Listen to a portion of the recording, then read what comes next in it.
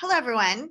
Um, so I'm tr- trying to today uh, give you a new lecture on Mulan. Yes, that's right, Mulan, a global sensation.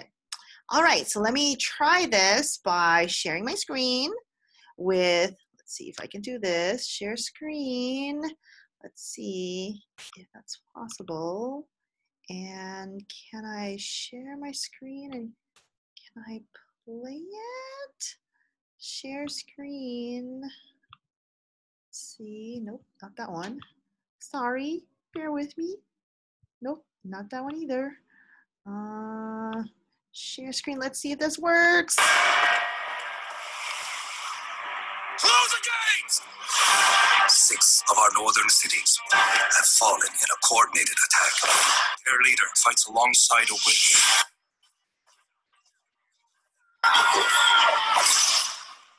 These murderers, Your Majesty.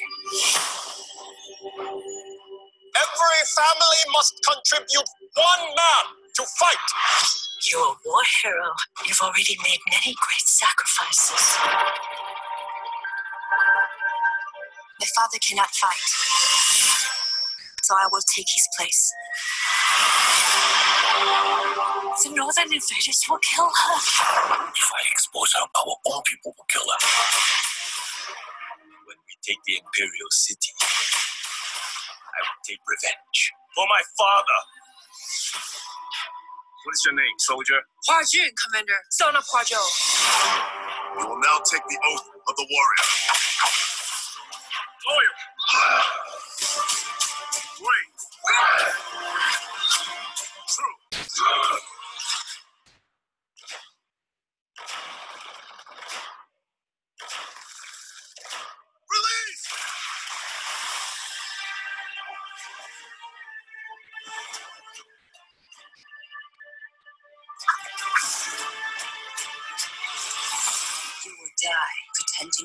Something you are not.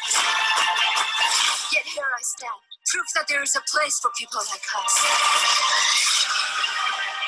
A girl threatens our plans.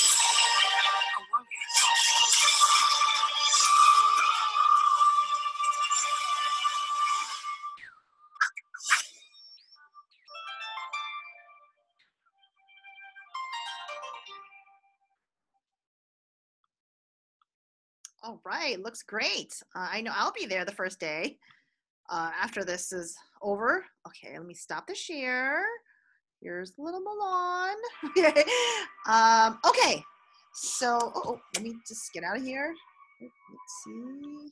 All right, I hope this is working uh, for video. All right. Um, so today we're going to talk about Mulan, and we're going to talk about uh, hashtag Make Mulan Right, which is actually from this book, uh, and it is chapter. What is it? Dr. Moana, chapter nine. Okay, so chapter nine. So I I uh, scanned it for you. You watched, so you have it. You have to pay. Um, so let's share and let's go over this very world-renowned, um, uh, world-renowned um, kind of uh, cartoon. Okay. All right. So let me get myself out of here. Okay. Let me get myself out of here. Oh gosh, how does this go here? All right. How do I? All right. There. Okay. Try my best. Okay. All right. So hopefully I'm out and not showing. Um. All right. Let's see. How do I do this? Okay. Now, how do I want to just show this as a view as a Hmm. Now I'm wondering, how do I?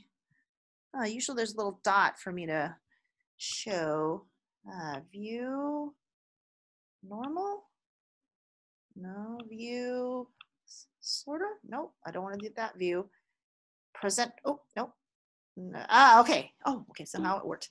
All right, so make Mulan right, retracing the genealogy of Mulan from ancient Chinese tale to Disney classic. Okay. All right, so the legendary story of Mulan, a female Chinese warrior, originated for the poem The Ballad of uh, Mulan. We don't know who the author is because it was anonymous, so it's quite old, hundreds of years old. And so that's actually um, Disney kind of remade a cartoon based on this ancient, ancient, well-known. Everyone in, in China knows about this poem. Uh, uh, well known in China. So here, and the story is well known. So if you've seen the Disney, and raise your hand if you've seen the Disney uh, cartoon, uh, Hua Mulan is uh, his father was actually uh, required to go in the military to fight against the Huns. That's historically not accurate. And so what happened was he could not do it. So she takes his place and she masquerades as a man. Okay, cross dresses. So here, um, you know, the original Mulan, uh, it was a, bit, a huge box office success, not in China. We'll talk about that later. But there was actually a kind of a big issue with uh, the live action Mulan that you just saw uh, the clip of, and there was actually a hashtag called Make Mulan Right. And one of the things that they had in that uh, Twitter hashtag was the idea of yellow face when you have white people acting like they're Asian, and also the white savior narrative where someone white actually saves all of China or Japan. Okay.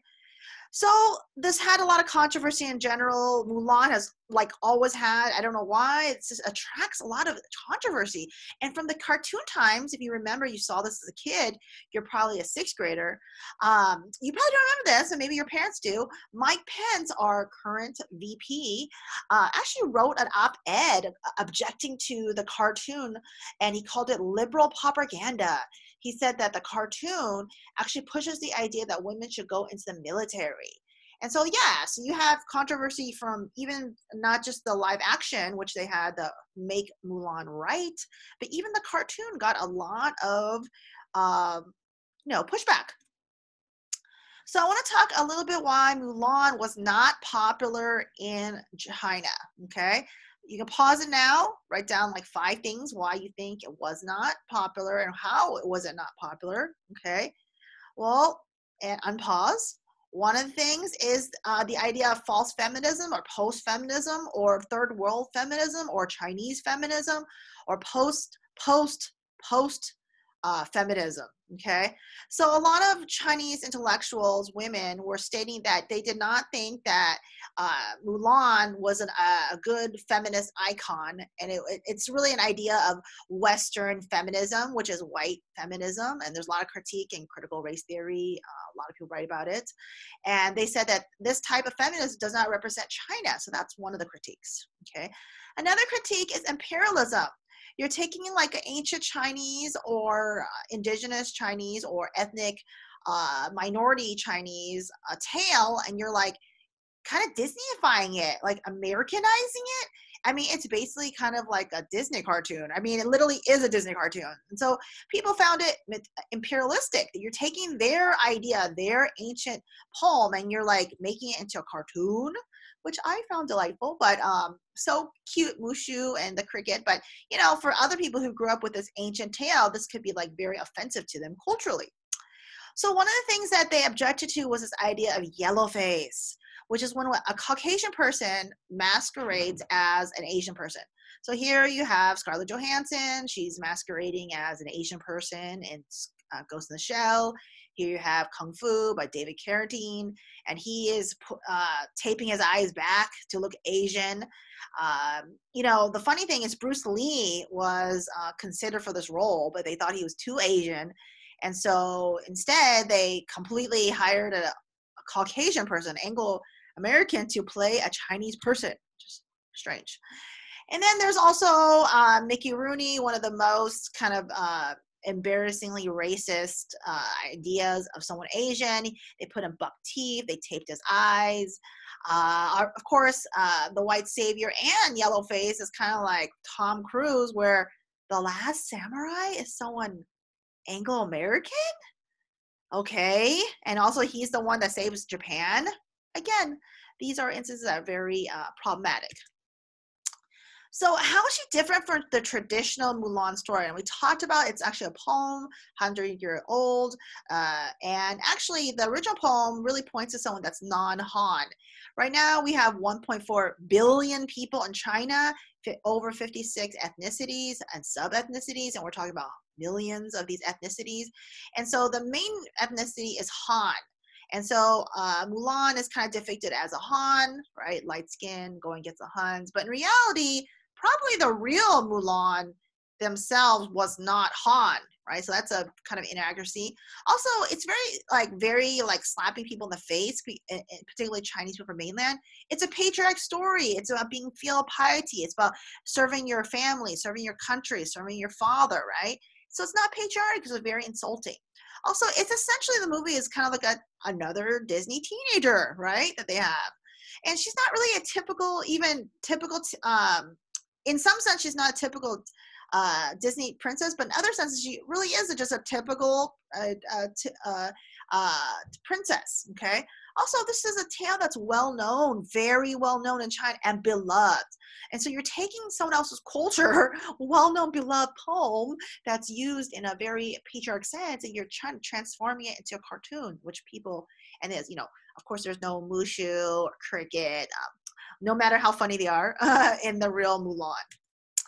So one of the things that people object to in the hashtag Make Mulan Right was they leaked. There was a leak of an early script for the new kind. Of, you just saw the new kind of uh, film Mulan uh, live action, and one of the scripts was they said that a middle-aged European man in his late 30s was going to marry or save Mulan, which was a 13, 14 year old girl. So obviously, just in terms of age difference, middle age and child, it sounds and is terrible, right? Now, of course, it kind of goes into this yellow face, uh, white savior of China. I have to say this was going to be a huge failure, okay? Uh, and so that was that was actually legitimately leaked. And so on Twitter, if you want to look now, there's a hashtag called Make Mulan Right. Lots of people, like 18 million rising. It's Asian American kind of uh, group that uh, fights for fair representation was objecting to this. And so, yeah, I, I really uh, suggest you go on Twitter right now and hashtag make Mulan right. And so, you know, 18 million rising did a Twitter campaign and 19,000 people signed the petition, okay? That no, uh, Mulan is not going to be like a 15 year old saved by an Anglo American, and um, Anglo American is not going to save China, okay and so they wanted basically asian american writers asian american directors asian american everything or asian and yeah so it was a really huge thing and then eventually this kind of got a lot of flack into disney it really forced disney to respond and they said no the characters Mulan will be Chinese, okay? And the primary characters will be Chinese. And so that was a huge thing. You know, people are thinking about the Great Wall, right? Where I don't think was anyone Asian in that movie? Huh. Okay. And so it's a timeless tale, guys. It's there's something about Mulan that attracts so many people. Of course, the you know 20, 60, 66% of the world's Asian. So yes, the majority of people are Asian, but and 18 to 23 percent of uh, humans are Chinese, but there's something like timeless, transnational about it that really attracts people around the world. And I think this movie will be all, all constantly remade over and over and over again by different countries, by uh, different nations, uh, nation states, and, and it'll, be, it'll actually always attract a boycott, a debate, and have people will have a lot of opinions on these future renditions. Okay, and there's just something about this tale. Maybe it's a human universal to dedicate yourself yourself, to uh, to your family, to take care of your father, to fight for your country. There's something about it's timeless, but also so controversial because people like love it so much and they want to get it right. Okay, so that's what the chapter is about and uh, you know we talked about how there was a boycott right? So there's a new actual i want to end it there was a new controversy. The live action now has not come out yet because of you know covid uh, 19 uh, that's closed all the movie theaters around the world. But apparently the mulan actress uh, uh, uh who voices mulan um, supported the hong kong police amid protests which actually she sparked a lot of protest um, as, pro- as protesters fight for democracy, Liu Yifei, a naturalized American citizen, wrote on the Chinese uh, social platform Weibo, I support the Hong Kong police. You can uh, all attack me now. What a shame for Hong Kong. Okay. So again, you know, this is especially if you're interested in Hong Kong history, there's the umbrella movement going on right now, the democracy movement, and you know, all these extraditions that they're fighting against eh, from mainland China. So it's a huge thing. I don't know why she did this. This kind of reminds me a little bit of the Wonder Woman act, uh, actress who said she supported the Israeli um, army you know, I think she was Israeli army, uh, and, uh, and so that was also very controversial, which led to another boycott of Wonder Woman. Okay, so again, right now, um, this is a huge issue, and so now there's a hashtag boycott Mulan because uh, they said that she's supporting the Hong Kong police, who people in Hong Kong view as uh, being uh, overly uh, harsh with the Hong Kong protesters for democracy. Okay, so again, this is the last slide. If you have any questions, I would love to hear it. Um, who's a Mulan fan? uh, I think a lot of us are. Okay. So anyway, thanks for coming to this, and I hope you enjoy this video.